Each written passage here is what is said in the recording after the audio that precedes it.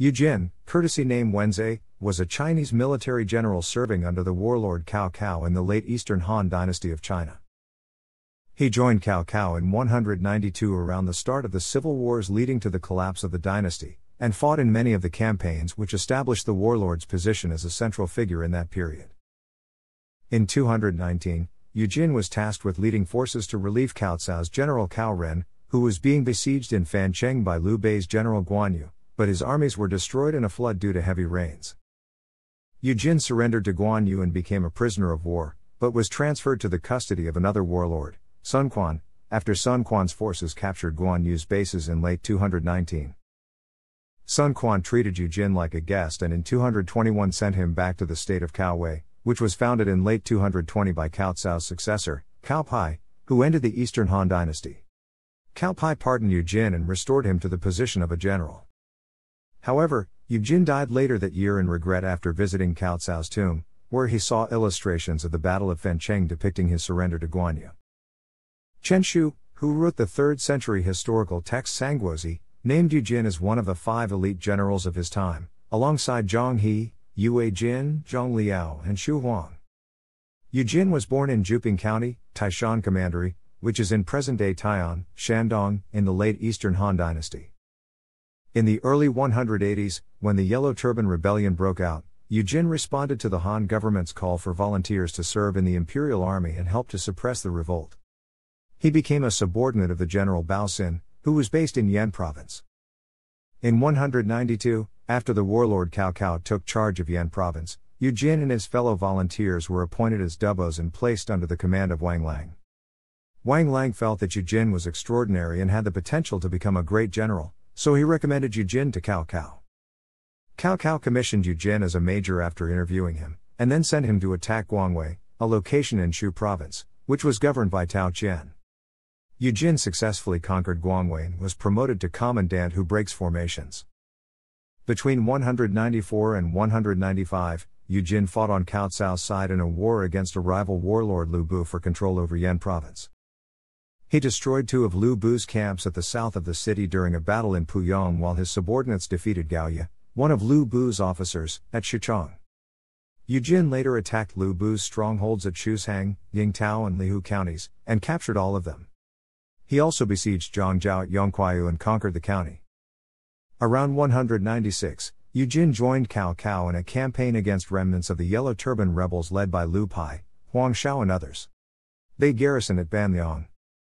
One night, Huang Shao and the rebels attempted to launch a surprise attack on Cao Cao's camp, but were defeated by Yu Jin and his subordinates. Lu Pai, Huang Shao and the rebel leaders were killed and the remaining rebels surrendered. Yu Jin was promoted to colonel who pacifies the barbarians. In 197, Yu Jin besieged Qiao Rui, an officer serving under a rival warlord Yuan Shu, at Ku County and killed Qiao Rui and four other enemy officers. In 197, Yu Jin accompanied Cao Cao on a campaign against the warlord Zhang Xiu in Wancheng. Zhang Xiu initially surrendered and pledged allegiance to Cao Cao, but rebelled later and defeated Cao Cao in a surprise attack. There was chaos and disorder in Cao Cao's forces as they retreated to Wuyin County. Only Yu Jin led his unit to continue fighting the pursuing enemy while maintaining an orderly retreat to Wuyin County. They managed to stay together even though they had sustained many casualties and losses. When Zhang Xiu's forces slowed down on their pursuit, Yu Jin reorganized his men and led them towards Wuyin County in a dignified manner even though they had lost the battle. Before reaching Cao Cao's position, Yu Jin encountered about a dozen injured and naked men on the road. When he asked them what happened, they told him that they were robbed by the Qingzhou Corps. Yu Jin turned furious and said, The Qingzhou Corps are part of Lord Cao's army. How dare they become robbers? He then led his men to attack and punish them. Some of the Qingzhou soldiers escaped to Wuyin County and accused Yu Jin of committing the crimes they were responsible for. When Yu Jin reached Wuyin County, he immediately set up defensive fortifications around the camp instead of reporting directly to Cao Cao. His subordinates told him, The Qingzhou soldiers framed you. You should explain matters to Lord Cao as soon as possible. Yu Jin replied, The enemy is still in pursuit and may reach here any time. If we don't set up defenses now, how can we expect to hold them off? Lord Cao is intelligent and wise. Those accusations aren't a cause for concern. After the defenses were set up, Jin went to meet Cao Cao and explained everything. Cao Cao felt pleased and he said, How dangerous it was for me when we were defeated at the Yu River. General, you're able to bring order to chaos and hold your ground against a fierce enemy, and you display unwavering loyalty. Even the famous generals of ancient times couldn't have done better than you. Yu Jin was awarded the title Marquis of Yishou Village in recognition of his contributions. In 198, Yu Jin followed Cao Cao on another campaign against Zhang Xiu at Rang County. He also participated in the Battle of Xiapi against Lu Bu, which resulted in Lu Bu's defeat and execution. Later, he joined Shi Huan and Cao Ren in defeating Sui Gu at Shequan County. In early 200, when war broke out between Cao Cao and his northern rival Yuan Shao, with the latter initially having the upper hand, Yu Jin volunteered to lead the vanguard to engage Yuan Shao's forces. Cao Cao was impressed with Yu Jin's courage, so he placed Yu Jin in command of 2,000 infantry and cavalry and ordered him to defend Yan Fort, in present day Yanjin County. Henan, from the enemy, while he personally led another army to Guandu. Around the time, the warlord Liu Bei seized control of Xu province after killing Che Zhou, the provincial governor whom Cao Cao had appointed. Cao Cao then led his forces to attack Liu Bei. Yuan Shao concurrently attacked Yan Fort, but Yu Jin managed to hold his position. Later, Yu Jin and Yue Jin led 5,000 infantry and cavalry to attack Yuan Shao's camps along the Yellow River southwest of Yan Fort. They traveled to as far as Ji and Huojia counties. They set fire to over 30 enemy camps, killed or captured thousands of enemy soldiers, and forced over 20 of Yuan Shao's officers, including He Mao and Wang Mo, into surrendering.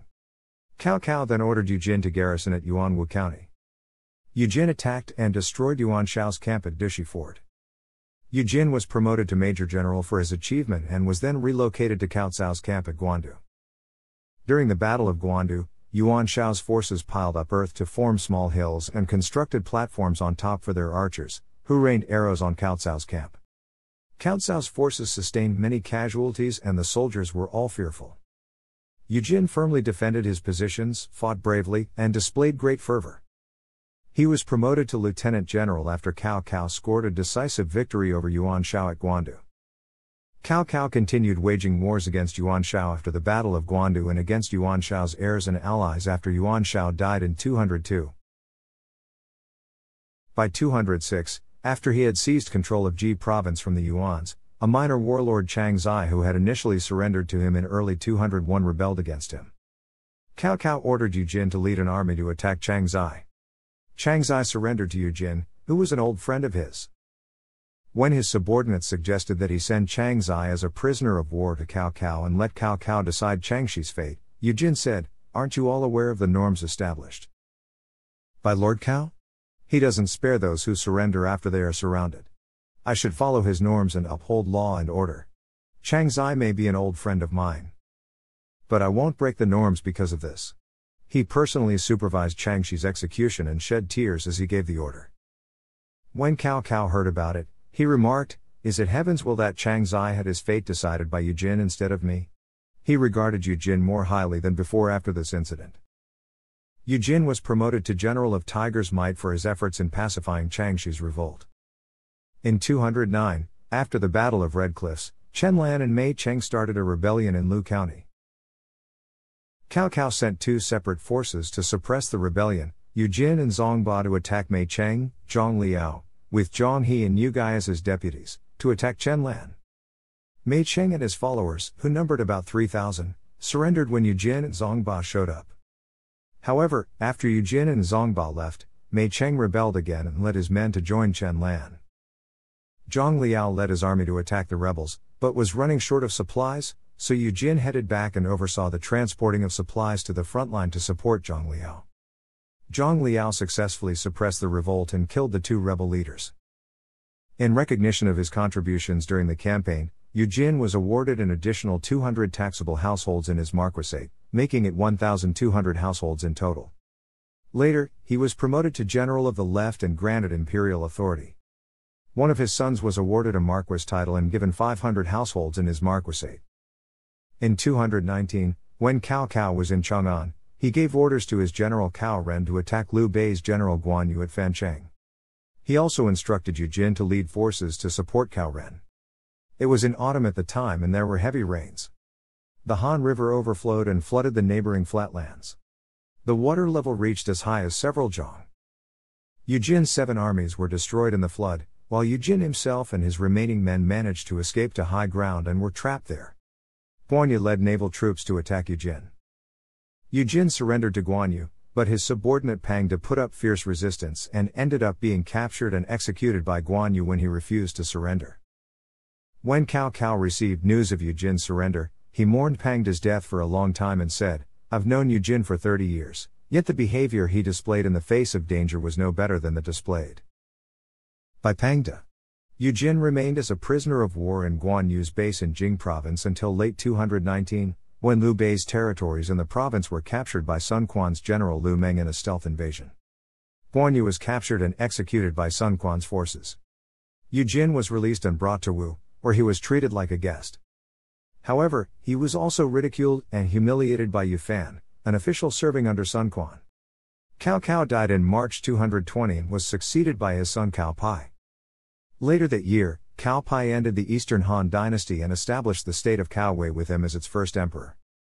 Sun Quan pledged allegiance to Cao in 221 and sent Yujin back to Wei in autumn. By then, Yujin was a pallid looking old man with a head full of gray hair. He knelt down, kowtowed and cried when he met Cao Pi. Cao Pi comforted him, told him about Xun Linfu and Meng Mingshi, and then commissioned him as general who stabilizes distant lands. Cao Pi wanted to send Yu Jin as his personal representative to meet Sun Quan. Before Yu Jin left, Cao Pi ordered him to visit Cao Cao's tomb at Jialing in Yi. There, Yu Jin saw illustrations of the Battle of Fancheng, in which he was depicted surrendering to Guanyu, while Pang De was portrayed in a ferocious and courageous manner. He was so filled with regret that he fell ill and then died. Cao Pi granted him the posthumous title Marquis Li, which literally means severe Marquis. Yujin's son, Yugui, inherited his father's title Marquis of Yishou village. Yujin probably had at least one other son, who received a Marquis title and 500 households in his marquisate. Chen Shou, who wrote Yujin's biography in the records of the Three Kingdoms, named Yu one of the five elite generals of his time, alongside Zhang Liao, Yue Jin, Zhang He, and Xu Huang.